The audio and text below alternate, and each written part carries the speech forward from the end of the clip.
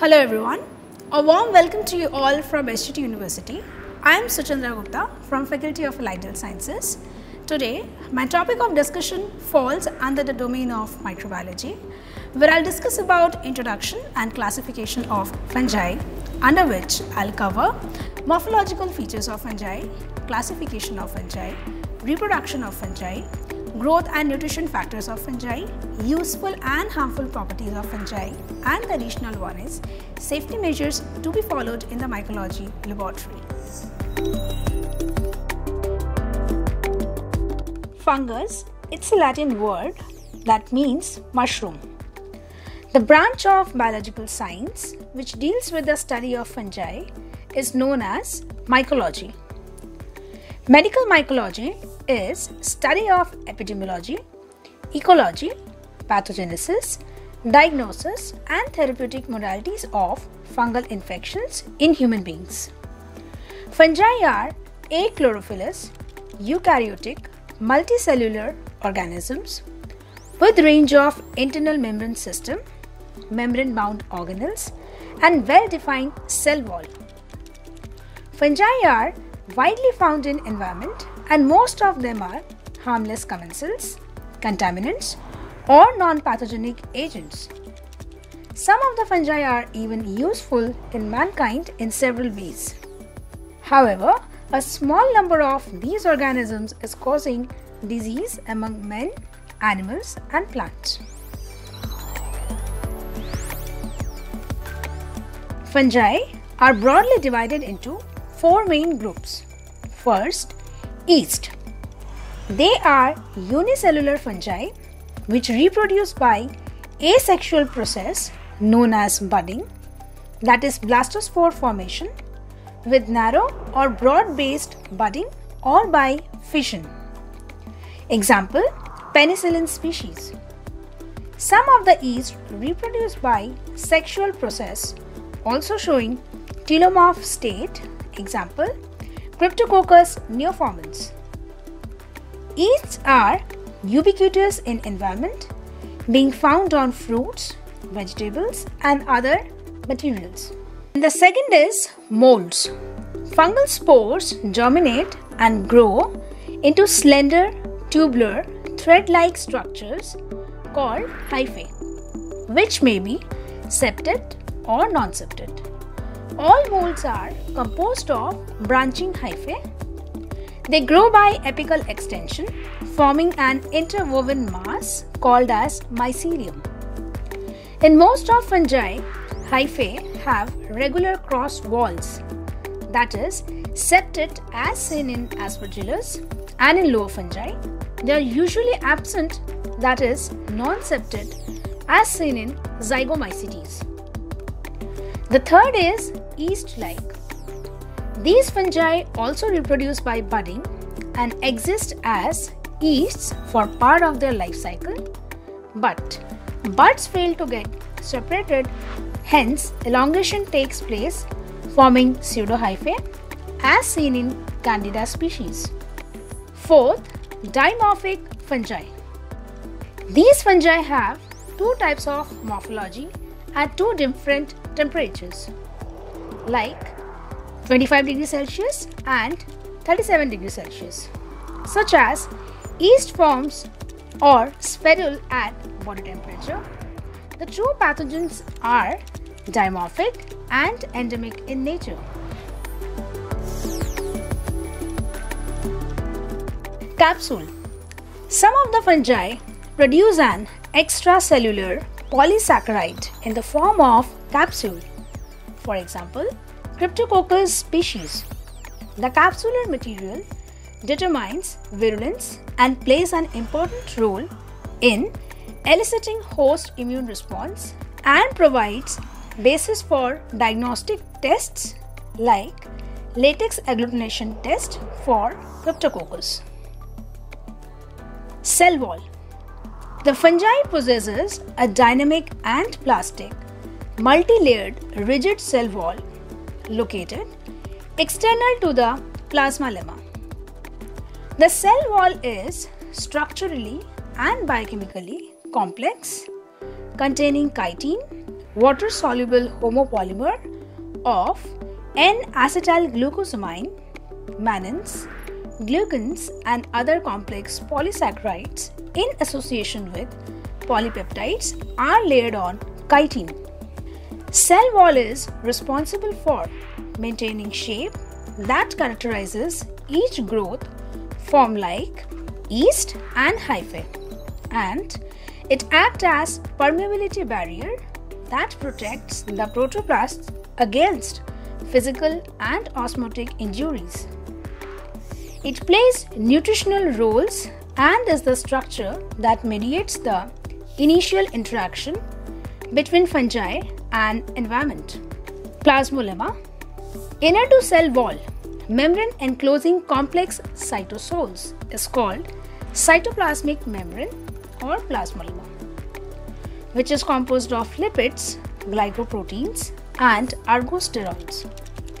The fungi possesses ergosterols in contrast to cholesterol, which is major sterol found in tissue of mammals. This is clinically very significant because most of the antifungal strategies are currently based on targeting the ergosterol in fungal cytoplasmic membrane.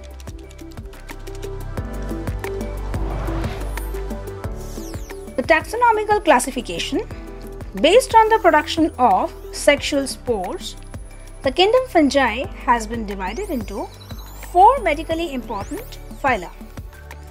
These are as follow. First, Phylum Zygomycota. They are lower fungi produce sexual spores known as zygospores and possesses aseptate hyphae, for example, Rhizopus and Mucor. Second, phylum Ascomycota. They produce sexual spores known as ascospores and possesses septate hyphae, example Aspergillus. Third, phylum Basidiomycota. They produce sexual spores known as basidiospores. Example, Cryptococcus.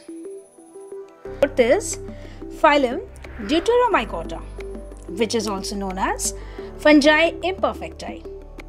In majority of the medically important fungi, the sexual state is either absent or unidentified yet. Hence, they are traditionally grouped as fungi imperfecti. Asexual reproduction. It is the outcome of mitosis, which involves budding or fission where total number of chromosomes it remains same. Chlamydospores, arthrospores and sexual spores are usually formed in large number as a result of mitotic nuclear divisions. A fungus may produce more than one type of sexual spores and they are usually designated as microspores, also known as microconidia, and macrospores, also known as macroconidia. These spores may be borne endogenously within sporangium and are known as sporangiospores, or they may be borne exogenously and are called as Conidiospores or simply conidia. The arrangement of conidia may be of following patterns. First, acropetal. In this, youngest conidium is at the top of the chain as seen in Cladosporium and Alternaria species. Second, basipetal. In this, the youngest conidium is at the bottom of the chain as in Aspergillus. Third, sympodial. This is mainly characterized by continued growth after the main axis has produced terminal spores by the development of succession of apex, each of which originates below and to one side of the previous apex. Then next is sexual reproduction. In sexual reproduction, Compatible strains mate and haploid strains fuse to form a diploid. It consists of plasmogamy, that is cytoplasmic fusion, karyogamy, that is union of two nuclei, and meiosis, that is, haploid formation. The number of chromosomes is reduced to half, preceded by fusion of protoplasm as well as nuclei of two cells. Most of the fungi found in nature can grow readily on simple source of nitrogen and carbohydrates.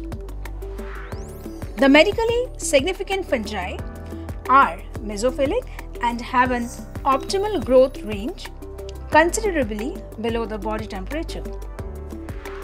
The optimum temperature in vitro for majority of fungi is between 25 degrees Celsius and 37 degrees Celsius. The fungi prefer acidic pH and therefore most of the fungal culture media have pH range towards acidic slide. Useful properties of fungi. Fungi are widely used in industry as source of food, particularly edible, wild or domesticated mushrooms of all shapes, sizes and colors, which belongs to Basidiomycetes. Fungi have been used to alter texture, improve flavor, and increase palatability and digestibility of natural and processed foods. For example, the yeast, that is, Saccharomyces cerevisiae, is used in leavening of bread and other baked products, hence, it is known as baker's yeast. The discovery of popular antibiotic penicillin from Penicillium notatum by Alexander Fleming in 1928 was a real breakthrough in history of medical sciences which revolutionized the basic approach in treating infectious diseases. The fungi are now therapeutically being used as probiotics along with bacterial species like Lactobacillus and Bifidobacterium. The pathogenic fungi are responsible for superficial subcutaneous, systemic, and opportunistic infections in man and animals. The fungi, especially molds, can cause decay of fabrics, timber, leather, electrical insulation, and other synthetic materials. There are two most common means of getting infections by fungi in laboratory that is, first is inhalation of conidia that are aerosolized and accidental inoculation through sharp objects. Example needles, scalpel blades, and broken glasses while handling specimens. There are general safety measures like never smell or examine fungal culture in the open petri dish the handling of clinical material as well as fungal isolates should be done under safety hood. It is essential for both medical as well as classical mycologists to adhere standard safety measures during their laboratory work. In diagnostic laboratory, every clinical sample should be taken as highly infectious unless it is proved otherwise. So I hope the concept of today's topic that is the introduction and morphological features, classification, reproduction of fungi are now clear to you all now. In my next e-lecture series, I'll discuss about laboratory diagnosis of fungal infections. Till then, keep learning, keep growing and stay safe. Thank you for watching this video.